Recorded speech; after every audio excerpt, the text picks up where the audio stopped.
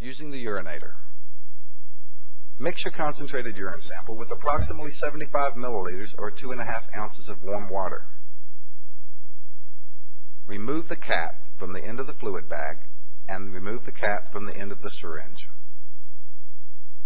Using the syringe, place the urine sample into the urinator. You can always use someone else's sample in the urinator, but you must use it within 24 hours. Please remember, it is always to your advantage to start with your fluid sample as close to body temperature as possible. As a matter of fact, you can even start with a sample warmer than body temperature, and the urinator will not turn itself on until the temperature drops below 98.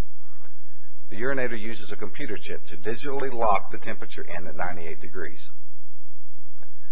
When you have filled the urinator with the sample, gently squeeze any excess air out of the bag and replace the cap, but do not over tighten. After each use, flush the urinator out with warm water. Do not ever use soap or other cleaning agents to flush the urinator out. Fold the cloth over until the battery holder is exposed. Install two brand new Duracell batteries.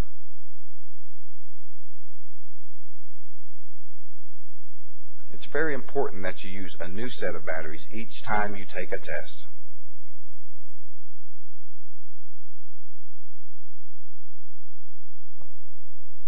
Finish folding the urinator and seal down the ends to make a tight little pack with the tube extending out of one end.